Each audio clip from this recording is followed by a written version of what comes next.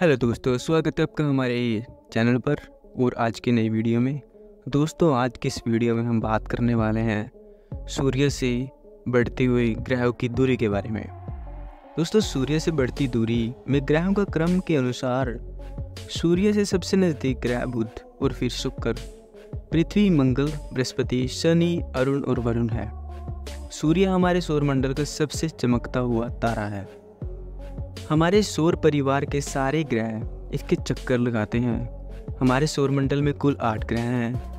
आरोही क्रम में अपने स्टैक सूत्र के अनुसार हमारे सौरमंडल में सबसे बड़े ग्रह बुध, मंगल, शुक्र, पृथ्वी नेपचून यूरेनस, शनि और बृहस्पति है। दोस्तों, हम बात करते हैं सूर्य से बढ़ती दूरी में ग्रहों के क्रम की। एक ग्रह एक खगोलीय पिंड है, जो एक तारे की प्रक्रिया करता है। जैसे कि हमारा सूर्य एक तारा, एक और खगोलीय पिंड है, जो ज़्यादातर प्लाज्मा से बना होता है, और इसका एक मज़बूत गुरुत्वाकर्षण क्षेत्र होता है। इसके मज़बूत गुरुत्वाकर्षण खिंचाव के कारण ग्रह इसकी परिक्रमा कर सकते हैं। सूर्य के चारों ओर पृथ्वी की कक्षा एक तारा, एक उदाहरण के रूप में कार्य करता है। सौरमंडल, बृहस्पति शनि यूरेनस और नेपचून जैसे ग्रहों के साथ साथ संक्रिय ग्रह बुध, शुक्र, पृथ्वी और मंगल से बना है। इसमें से प्रत्येक ग्रह के कक्षीय ध्रुव के संबंध में झुका हुआ ध्रुणी अक्ष है। उन सभी में वायुमंडल है, बुध के अपवाद के साथ और उनमें से कुछ बर्फ़ की टोपी, मौसम, ज्वालामुखी तूफ़ान, टेक्टोनिस और यहाँ तक कि जल विज्ञान जैसी विशेषताएँ को साझा करते हैं। दोस्तों, अब हम बात करने वाले हैं दूरी के बारे में।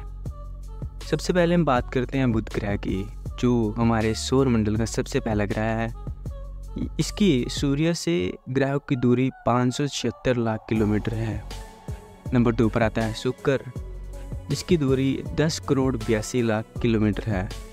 नंबर तीन पर पृथ्वी, चौदह करोड़ छियानवे लाख किलोमीटर। नंबर चार पर आता है मंगल ग्रह, जिसकी दूरी बाईस करोड़ नवासी लाख किलोमीटर है।